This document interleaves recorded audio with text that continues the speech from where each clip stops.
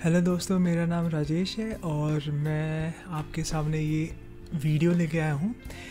इस वीडियो में मैं एक बेहतरीन टूल के बारे में बताने जा रहा हूँ, जो टूल का नाम है डीपी टूल्स तो आइए सबसे पहले बात कर लेते हैं कि मैंने ये टूल कहाँ से डाउनलोड किया। सबसे पहले क्रोम है। क्रोम में देखिए, यहाँ पे है नाइजा रोम वेबसाइट का नाम है हमारे, ठीक है? आप उस पर टूल पे जाएँगे।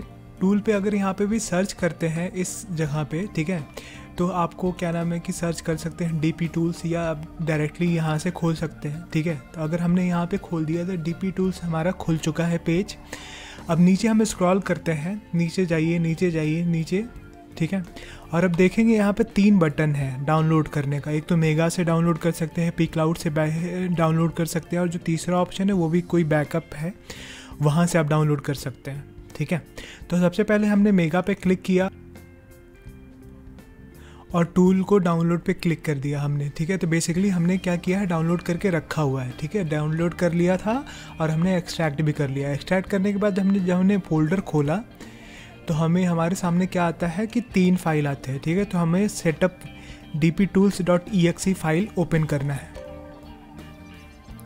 तो हमने बेसिकली अब नेक्स्ट पे बटन दबाना है, फिर अब नेक्स्ट पे दबाना है नेक्स्ट पे दबाइए इंस्टॉल पे क्लिक कर दीजिए। और अब क्या नाम है कि हमें बेसिकली लॉन्च करना है डीपी टूल्स को फिनिश कर दीजिए। तो अब हमारे सामने डीपी टूल लॉन्च हो गया आएगा। देखिए, यह है इंटरफेस डीपी टूल्स का। बेसिकली कैसा इतना अच्छा टूल इतना सिंपल टूल है। बेसिकली ये टूल ही डिज़ाइन हुआ था LG फ़ोन के लिए। जो इसका डेवलपर है, वो बेसिकली XDA डेवलपर के फोरम से हैं बिलोंग करते हैं। तो सबसे पहले हम क्या करते हैं, इस टूल के फीचर्स के बारे में बात करते हैं। तो इस टूल में क्या क्या फीचर्स है? देखिए, पाँच मेन फीचर्स हैं। रूट ऑप्शन है, ठीक है बैकअप ऑप्शन है मैनेज फाइल्स है टूल्स है और रिबूट ऑप्शन है। सबसे पहले हम रूट ऑप्शंस की क्या क्या बात करते हैं, ठीक है? तो सबसे पहले हम रूट ऑप्शन के अंदर देखते हैं रूट डिवाइस है, जो कि LG फ़ोन के लिए यह टूल LG के किसी भी फ़ोन को रूट कर सकता है। हाँ भाइयों, यह टूल किसी भी एलजी फ़ोन को रूट कर सकता है। और उसके नीचे आप देखते हैं इस बटन से आप चेक कर सकते हैं रूट स्टेटस किसी भी एलजी फ़ोन का, ठीक है? और जो तीसरा ऑप्शन है अनरूट एक क्लिक से हम अपने फ़ोन को अनरूट कर सकते हैं। चलिए बैकअप पे देखते हैं। बैकअप ऑप्शन के अंदर है कि इस बैकअप बटन से हम फ़ोन का पूरा कंप्लीट बैकअप ले सकते हैं। रिस्टोर बटन से हम रिस्टोर कर सकते हैं पूरा अपना बैकअप और जो तीसरा बैकअप है, तीसरा मतलब कि ऑप्शन है जो कि बैकअप ऐप्स का है। इस बटन के मदद से हम अपने एप्लीकेशन को एप्लीकेशन का बैकअप बना सकते हैं। अब चलिए हम मैनेज फाइल्स के अंदर आते हैं। तो पहला बटन है इंस्टॉल ए इससे हम कोई भी एप्लीकेशन अपने फ़ोन में इंस्टॉल कर सकते हैं। पुश फ़ाइल मतलब कि कोई भी फ़ाइल कंप्यूटर से लेके हम बेसिकली फ़ोन पे भेज सकते हैं, ज़बरदस्ती। और तीसरा है वाइप डालविक कैच तो इससे क्या होता है कि हम अपने फ़ोन को बेसिकली रीसेट कर देते हैं।